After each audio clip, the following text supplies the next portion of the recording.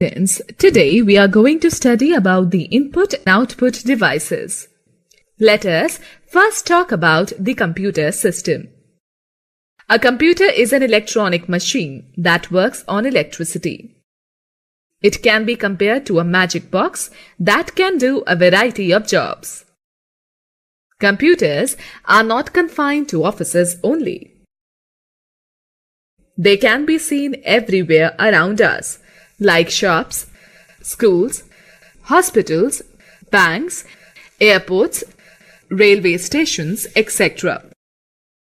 They work very fast and are 100% accurate. A computer system performs three basic functions input, processing, and output. The computer system works with the help of hardware and software.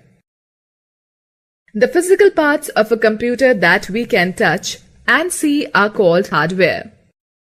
Software is a set of instructions that helps the hardware to work in a desired manner. Hardware and software are interdependent. Without software, a computer cannot work. Similarly, if hardware is not there, software is of no use. This can be understood with the help of given example. To listen to music, we require a music system. The music system, CDs and DVDs are hardware because we can touch them. Can you touch the songs?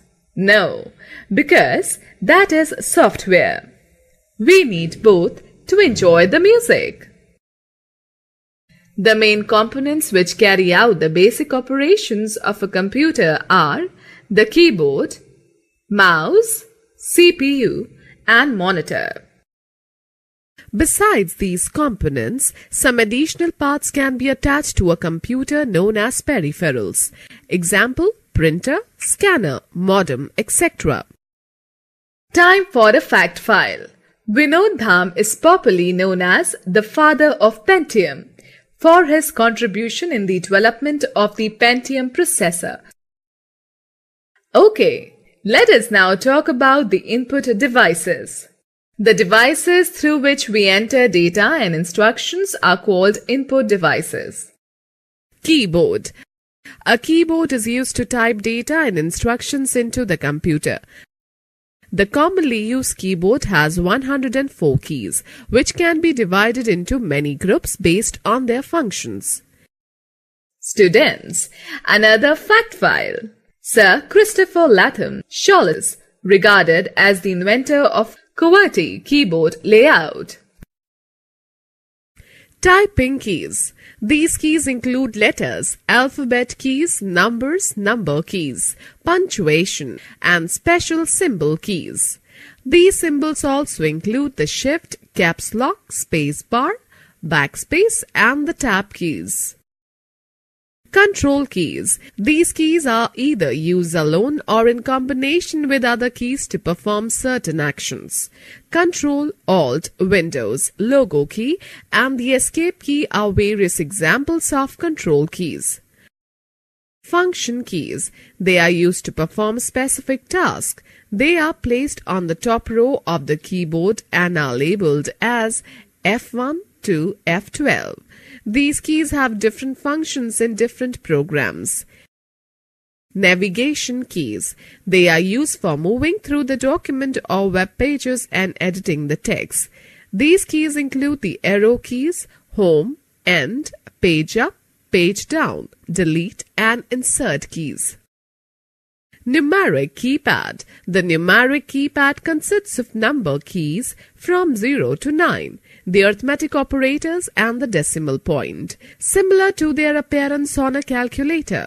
It is placed on the right side of the keyboard and is used for entering numbers as a fast speed. Mouse. A mouse is a small pointing device with two or three buttons on its top. As we move the mouse, the pointer also moves in the same direction.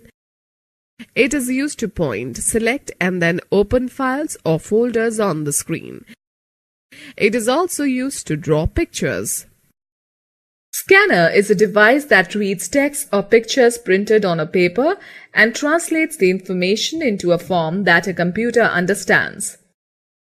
The most commonly used scanner is the flat bed scanner which has a flat tray with a glass pane and a covering lid, similar to a photostat machine. Now, there are three types of scanner, flat bed scanner, sheet fed scanner and handheld scanner. Barcode reader. A barcode reader is an input device to read printed barcodes. A barcode is a series of black lines of different thickness with white spaces between them. Nowadays, we find barcodes in many products. A barcode reader consists of a light source, a lens, and a light sensor. It reads the barcodes and sends the information to the computer. A light pen is a pen-like pointing device. It is used to select objects on the display screen. It is quite similar to a mouse except that it allows you to point to the objects displayed on the screen or draw directly on it. Light pen is only used with CRT monitors. It is mainly used by engineers, fashion designers or architects. A digital camera is used to take photographs and record videos. Photos or videos taken with a digital camera are stored in a memory chip inside the camera. Then the digital camera is plugged into the computer and the images or videos are transferred to the computer for storing, editing, printing, etc. A web camera is a device connected to the computer for capturing still images and live videos. It is primarily used for video telephony on the internet. A microphone is an input device which is used to record voice, music and sound into a computer system. Sound cards enable the computer to record sound input from a microphone connected to the computer.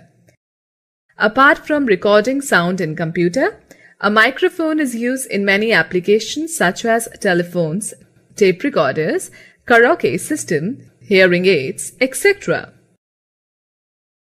Touchpad is used instead of a mouse on the laptop computers. It is a touch-sensitive pad. You can control the movement of the pointer on the screen by moving the finger on the touchpad. A touch screen is a computer screen which is sensitive to the touch. We can select the objects directly by touching with fingers, without using any pointing device. For example, ATM machines, cell phones, etc. Time for a fact file. Dr. Engelbart is the inventor of the computer mouse.